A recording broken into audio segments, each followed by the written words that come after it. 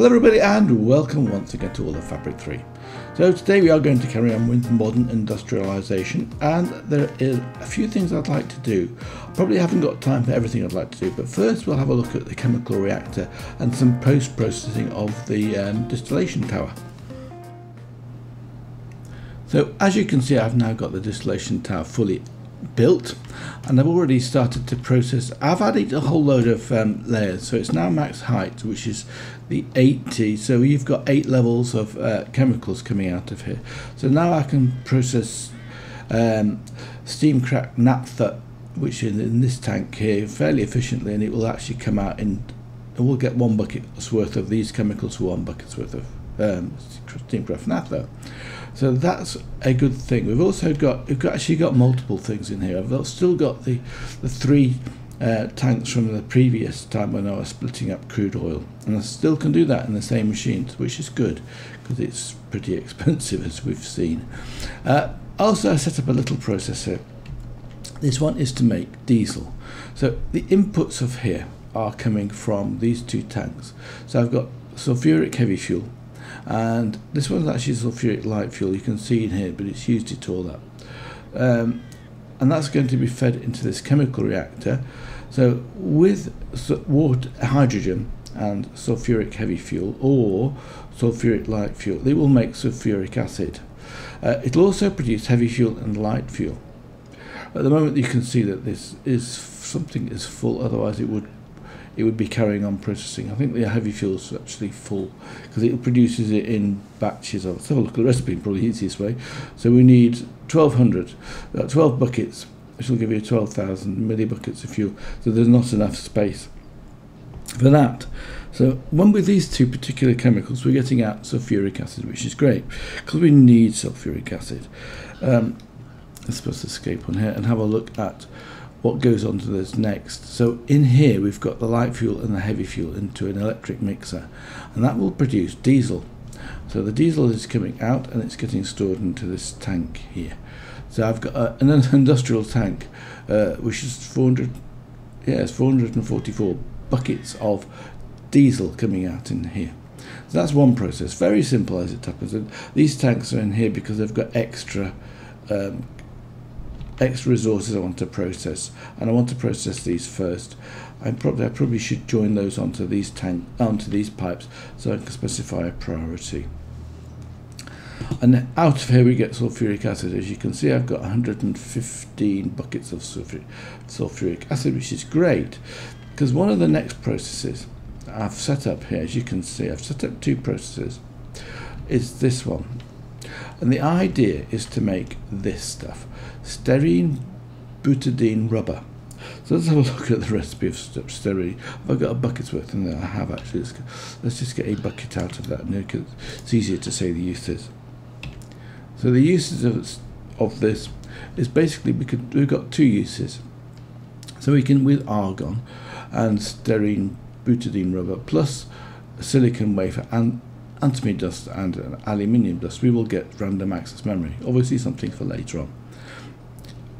As it happens, this one is if we put it into the vacuum freezer, so one bucket will give us 64 rubber sheets, which is actually great because uh, some of these machines that we've got require 1300 or so rubber, sh rubber sheets. This is a nice way of doing it. So let's have a look how we actually do this. So the recipe for that, so the one I'm being using is chrome tiny dust with styrene, styrene butadiene will produce this styrene butadiene rubber.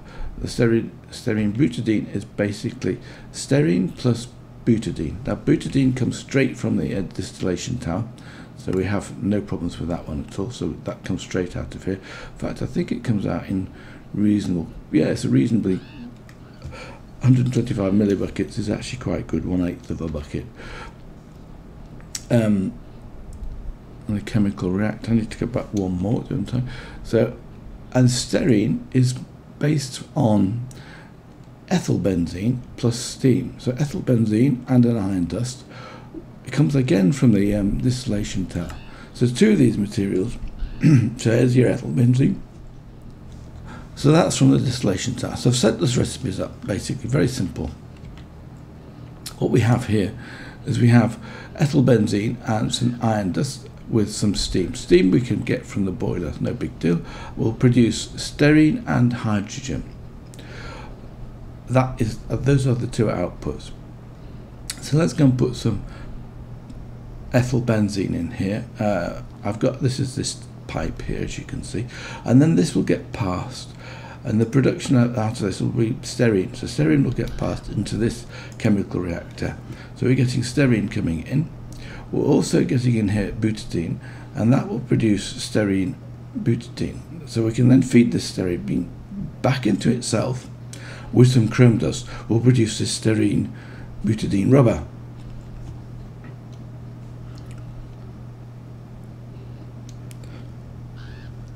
which I've already got some in here so I can just connect that pipe back into this tank here and then it will start to output some fluid let's just do that uh, and we can also put this one back in here as well. Ooh, too late. Should have done that first.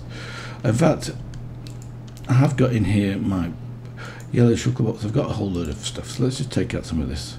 Because we would like to process seven I've got seven buckets worth. Seven buckets? No, I've got eight buckets worth of this. So let's go and take those down to the vacuum freezer and start to make some rubber sheets.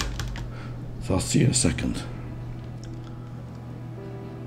So as you can see, I've got a tank already prepared and that just needs to change the direction of this. So this tank was already being absorbed and put into this steel fluid hatch. So that'll give you three buckets worth. So all I need to now is come along here and fill this up with some more buckets of this styrene, butadiene rubber, and while, while that's happening, because it can, actually I wonder if there's a faster way of doing this. If I used uh, the ordinary tank, I could just simply put those in. I'll tell you what, I'll, I'll fill this up and be back in a second. Right, so I've got seven buckets in it, and in here we should now see rubber sheets being produced. They should come out into here. As you can see, we've already got some rubber sheets coming straight out of here. And as soon as those get taken out, well, there'll be plenty. So the next recipe is nearly finished, so we'll get another 64 coming in here. So there you'll see the rubber sheets are coming in really fast. So that will give us plenty of rubber sheets for the next uh, machine. it really is as, as so we got 384. Let's have a look at the recipe of this. There is another recipe as well.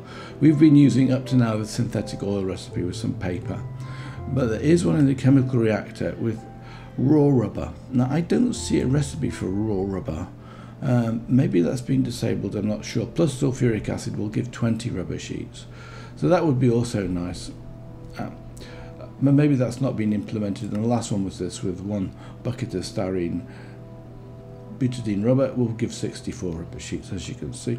And that number has just gone up to 492 and it will go up uh, on 508 it's going up 16 at a time because that's the export capacity of that.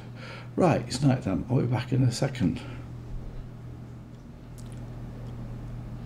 So that's finished and as you can see we've got 796 rubber sheets. Now the next thing we're going to set up and make is some polyvinyl chloride. so this is actually a good one to do.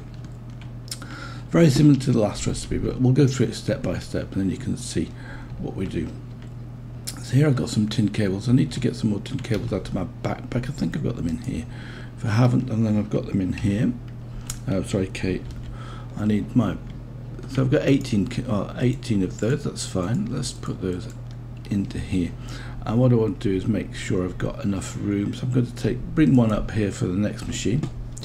And the next machine we're going to do is well let's have a look at polyvinyl chloride to start with. And and its uses.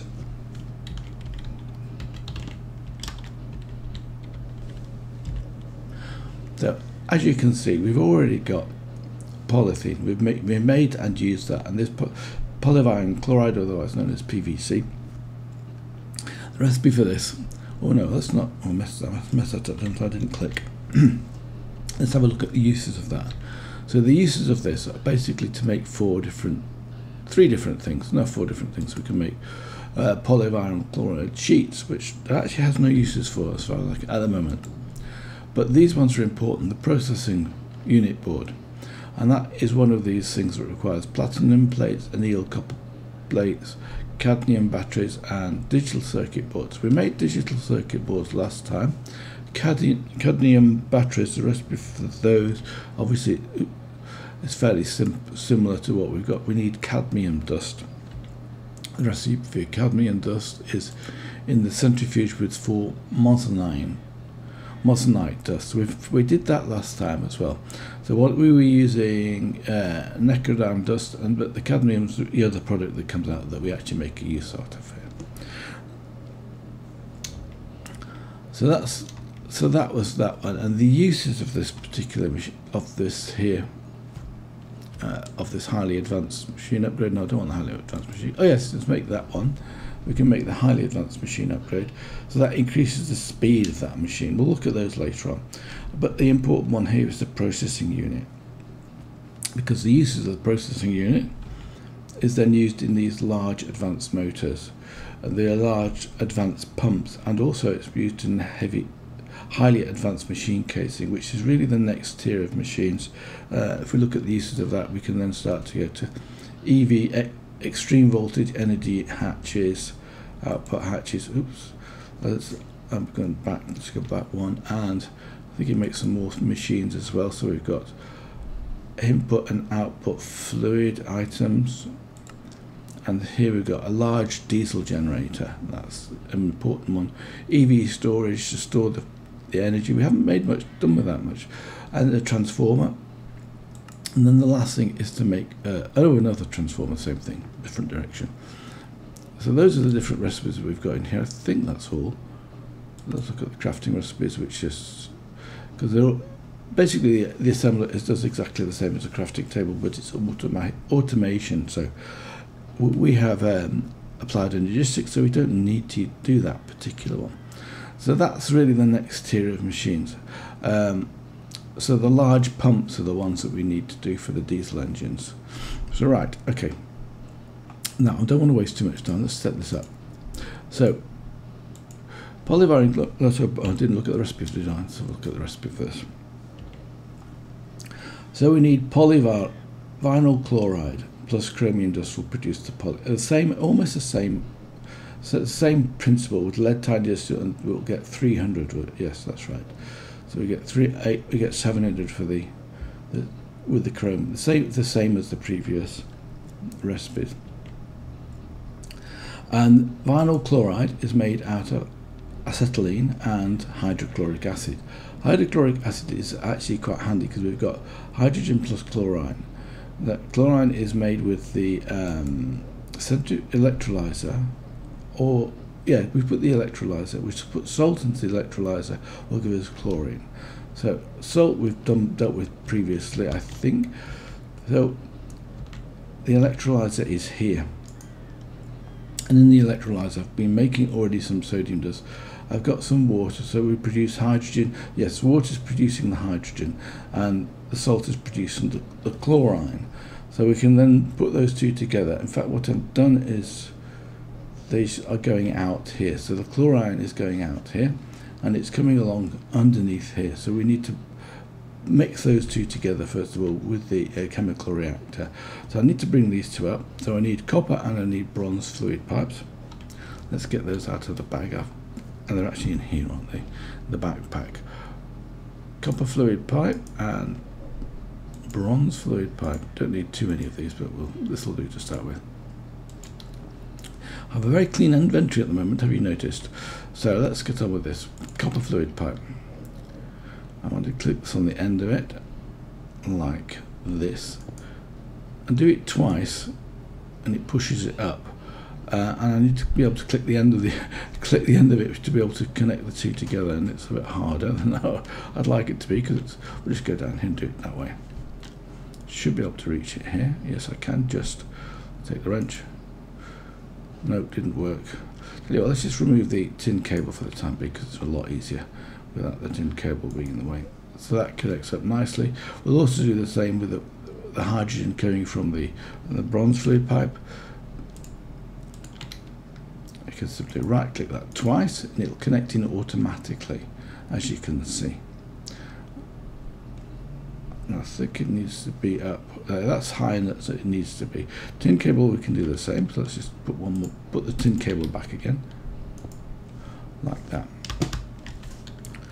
and as you can see the copper pipe is actually one height one block too high so we'll just remove the top of this and then put onto this the chemical reactor uh, chemical reactor I've got two made actually one in the backpack and one here so let's put this one down and then we shall select the recipe so the recipe we want is the hydrochloric acid recipe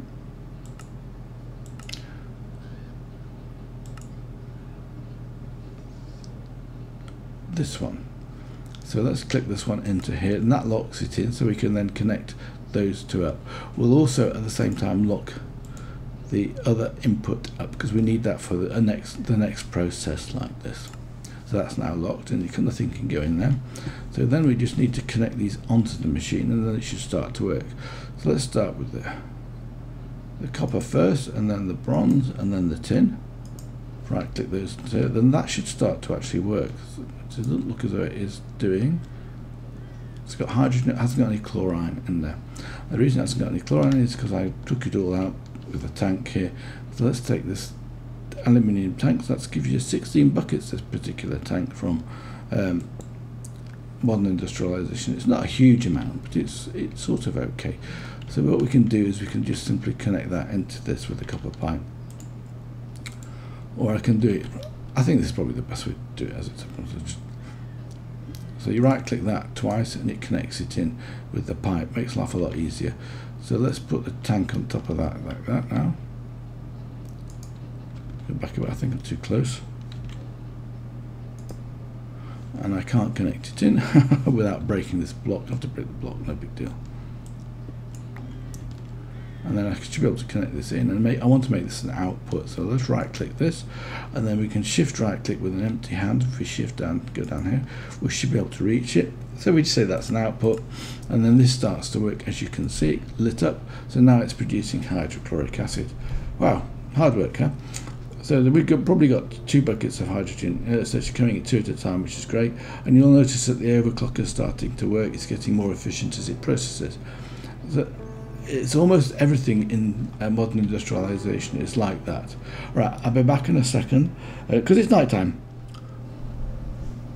So right now we can now put on here we'll just put down a piece of tin cable because we don't need these two chemicals anymore for this next process as far as I remember. So let's just put down a tin cable. I've got some gold fluid pipes here as well. Took those out of my bag in the night time. So we can just put down another piece of tin cable. On top of that we can put down a second chemical reactor like this. And what we need to do now is we need to take the hydrochloric acid out of here and put that into this chemical reactor. That's one of the two recipes. In fact, we might as well do it from here. So we need the polyvinyl chloride. So that is made from this. So what we need to do now is we need acetylene and hydrochloric acid. So we get the hydrochloric acid from the, the tank and acetylene will put in automatically. So what we'll do is we'll set up those two connections. So the first connection, we will use the, uh, actually I've got some aluminium pipes, I'll do the same as I did last time. Let's get those out of the backpack. And fluid, stainless steel item pipes, steel flaps, there we go. So we can just simply put these down like this and connect those two together onto the onto the machine so the hydrochloric acid comes out. Of course we have to, probably a good idea to prime this. Did I save these recipes on here? Let me just, can't remember to be honest. No I didn't.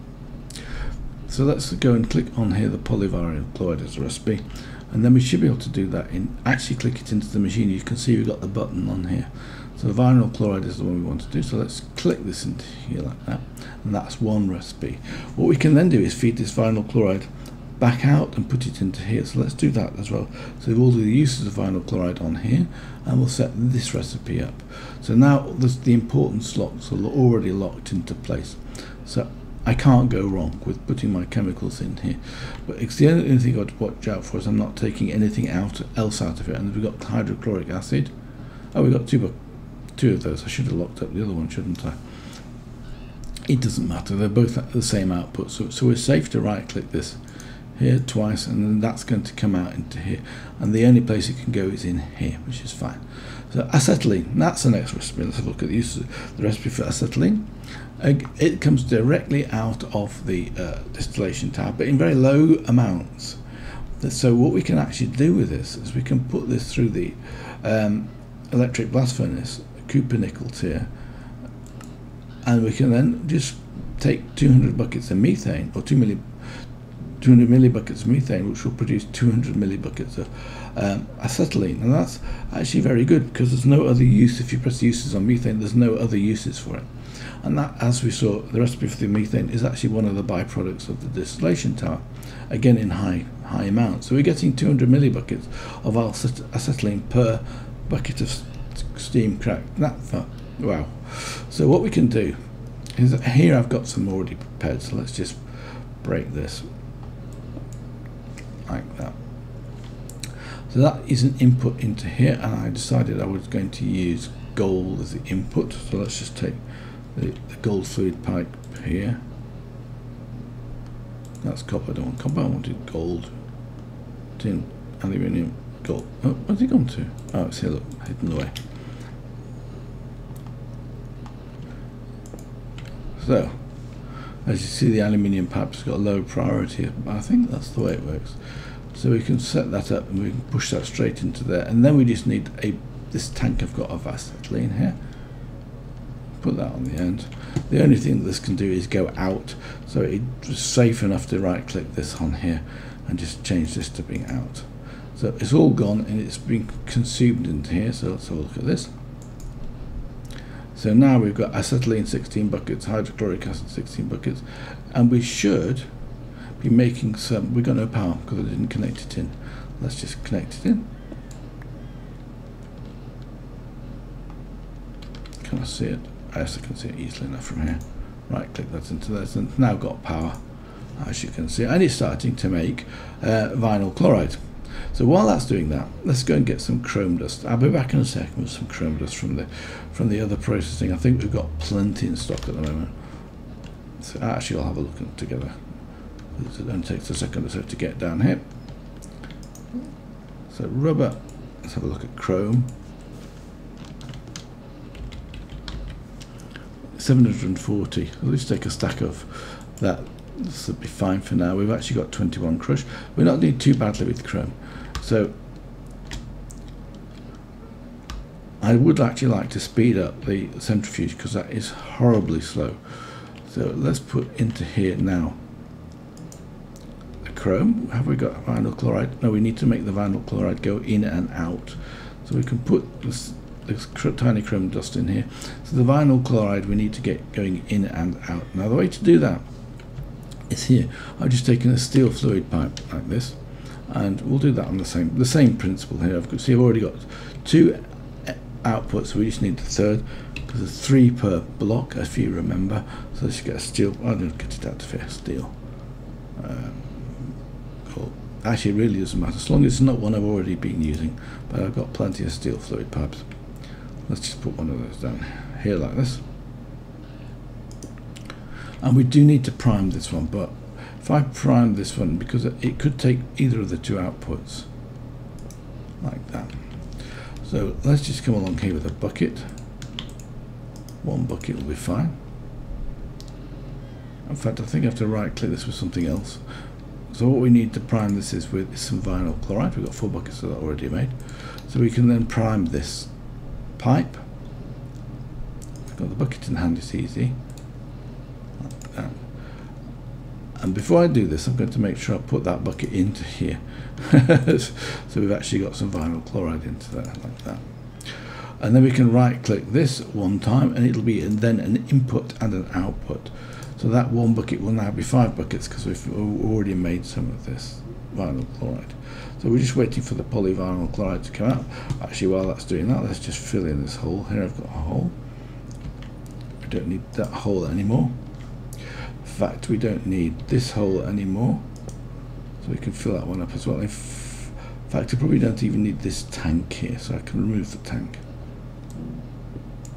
I can remove the copper, the copper pipe coming out of that no big deal and then I can fill it in again with some stone. Makes things look neater huh? and then we can take this we can leave a pipe. We just need an empty tank. So let's take an empty tank. Like and put that on the end of this. And I find the easiest way is to put one piece of pipe across like that and then just put a let's be consistent. Have got here bronze yes. Let's just put a piece of bronze pipe. I've got some here somewhere yeah. Down here and again we'll prime this because there are two outputs. Now one of the outputs should be empty because it's coming into here. But just to be on the safe side we won't take that risk. We'll just take a bucket again. Oh we don't have any yet do we? That's the that was the problem. We don't have any polyvinyl chloride yet. So as soon as this is being processed we shall get this coming out how much have we got in here? 14600 that'll take a few minutes. All right i'll tell you what i'll be back as soon as the processing is starting for the uh, polyvinyl chloride. So what i want to show you also is this. As you can see this is probably the last bucket of the um, uh, acetylene that we've got. So we've basically got 16 buckets of vinyl chloride, which is great. But as soon as this has finished processing and goes into the next recipe, this overclock efficiency will go down to zero again. Uh, you'll lose all of this, as you just see that like that. So now we've got lost one of those chrome tiny and that's now producing. Uh, we lost half a bucket of that. That's good because we're going to actually end up with 1.4 buckets per bucket of vinyl chloride which is which is reasonably good. So here the polyvinyl chloride will come in here in a second, and then the efficiency here will go up. So to be efficient, let's set this up properly, you would actually need three chemical reactors and not mix up the, the different recipes. I can't take the bucket out until it's done too, but we'll have a look at this first one come through, and then I'll wait, and I'll see you in a second when the second one's coming through. So now we've got one bucket's worth of polyvinyl chloride. We can take that and we can put that into this pipe here. Uh, we'll do it on this end. It doesn't matter which one we do it. And then we can then make sure this is an output like that, and that will fill in this tank with what we've got. I had to be careful there because I don't want the polyvinyl chloride coming, well it can't go back in again, so that's fine, that's safe enough. But as you can see, we have our first polyvinyl chloride, which we can then take that and we can then um, use that in the in the assembler. So that's it for this episode. I hope you've enjoyed it. Next episode, I'm going to look at possibly making argon. Argon's a bit of a process. We have to make the pressurizer in order to get the argon. So I've got the materials ready for the pressurizer because it requires titanium and it requires lots of titanium. Anyway, until next time, I wish you all the best. Bye for now.